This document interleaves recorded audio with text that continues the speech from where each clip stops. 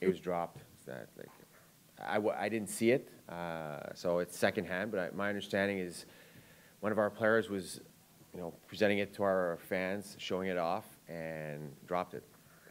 So It's out with an upper body injury for the next couple of days.